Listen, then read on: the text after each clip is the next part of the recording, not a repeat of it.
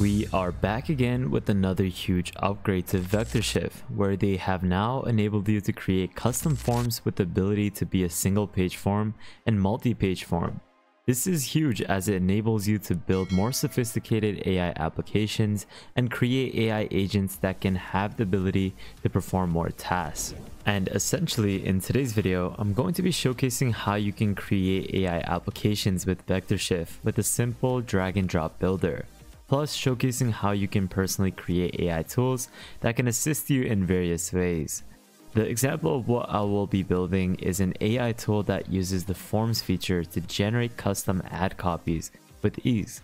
This is where you can simply provide a couple of inputs and it will automate the process of generating a really nice ad copy with a single click. So how are we going to accomplish this? Well, it's all thanks to a trustworthy application called VectorShift a no-code AI automation platform that we've seen countless of times on this channel, where I've automated data entry, created software, and so much more with this application.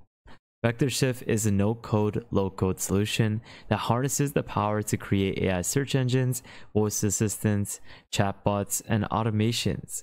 With its intuitive interface, you can build powerful AI-driven solutions without needing any sort of code with a simple drag and drop UI. And this is something that allows you to automate almost anything with ease. So let's get started. What I want you guys to do is head over to the VectorShift website, which I'll leave a link to in the description below. Once you are here, click on this get started button and sign up with a Google account or with a GitHub account or by simply signing up with your email address. Once you have signed up, you'll then be sent over to the main dashboard of VectorShift. This is the pipeline dashboard and this is where you can manage all your automations as well as your creations. If you head over to the marketplace, you can readily clone ready-made templates that have been already created by either the VectorShift team or by community members. And this way you can easily get started with something that has been already created rather than starting from scratch. You have a knowledge base in which you can upload various file types. You have your automations and chatbots that you can manage. You have a search base that you can also work with, such as your search engine. You have forms, voice bots, and so much more which is why this is an ideal platform. Portals as well as bulk jobs are two new features that have been added to VectorShift. I've actually made a video on portals which I'll leave a link to in the description below. This is essentially where you can have all your models, your AI voice bots, and automations all in one single area, hence why it's called portals. Now, what we're going to be doing now is going back to pipelines so that we can get started and create our AI application. Click on this create object button and click on create pipeline from scratch.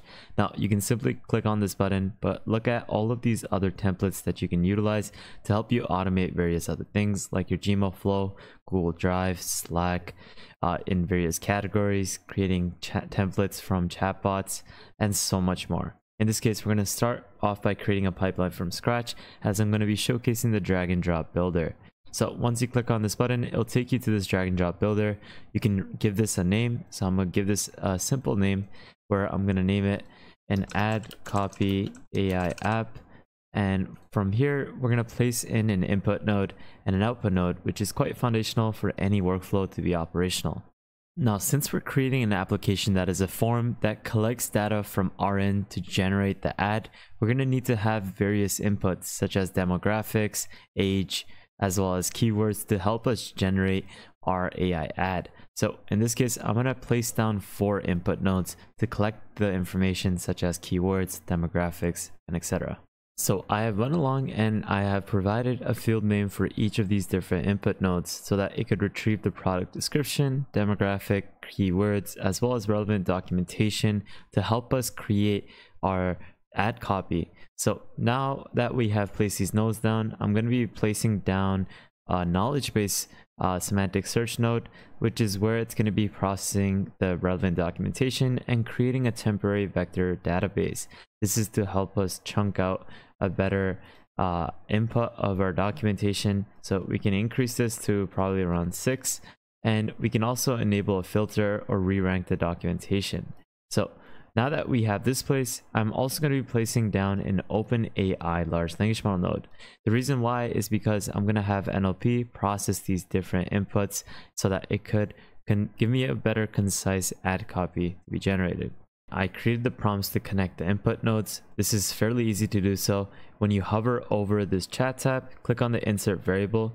You can rename it to whatever you want to connect the input node to. So in this case, if I want to create a different variable to connect the product description, you can just simply name this product and you can see that it is adding a new connector to this node. But since we have already added the necessary inputs, we can leave it as it is. I named it product description to connect the product description, demographics, and etc. I also gave it a system prompt where I told it to write three different ad copy ideas for the about the product description. This is where I told it to bullet list them starting each with the hook that we can use for as a headline. Each advertisement should be no more than two paragraphs long and written to attract the demographics.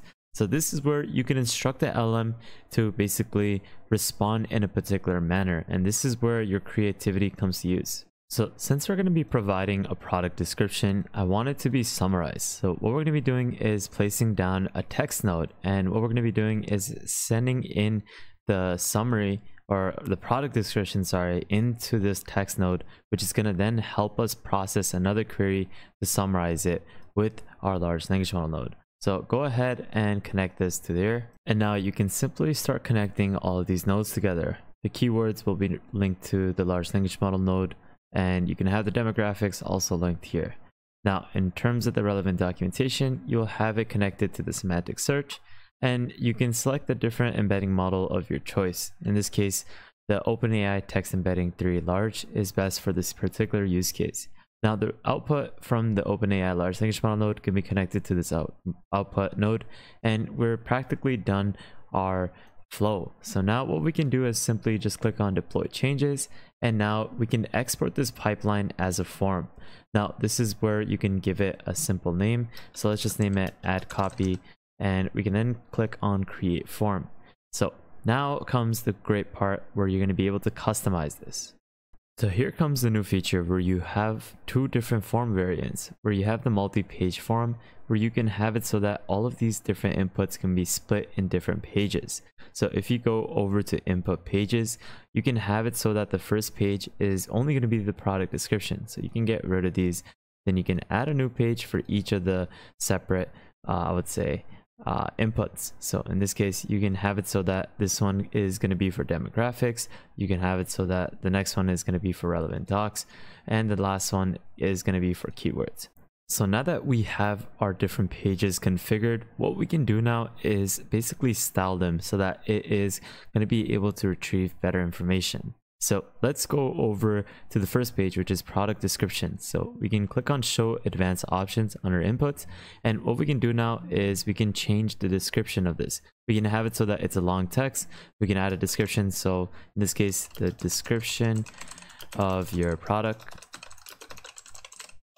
And next, we can add a placeholder within this box. So we can say an example, like example, uh, we make uh, websites.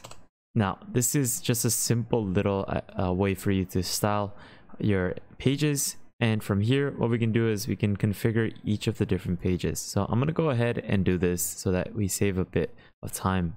So I went along and I've configured all the different input pages where I've basically provided a description for each of the pages and I've also provided styling as well as uploaded my own logo, which I'll showcase in a bit. But you can see that now we have our form ready, but we're going to also be providing an input onboarding page. This is where they'll get started with an onboarding page, which we'll configure in a bit. But if we go down a little bit and go over to general, this is where you can configure things such as the name, as well as giving it a description of what your form is about. So I told it that this is a description, which is to generate custom ad copies for your business. I uploaded my logo and now what you can do is you can configure and add a page for the onboarding so that this is something that is greeted uh, or something that greets the person who is going to be utilizing your tool and then it'll lead into the form. So I'm going to go ahead and configure this. So I've provided the title as well as the description of the onboarding page. And now what you can do is click on deploy changes. And now you can export this as a form which is just a simple link.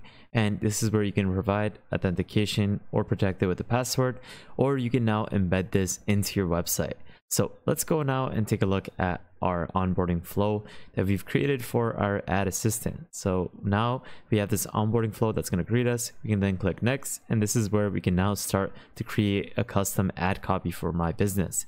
So this is where I'm going to provide a description now. So let's just make an ad copy for our channel. This is where I give it a description of the YouTube channel. Let's give it a couple of keywords or demographics. Uh, students, software developers, and who else watches our stuff? 40 year.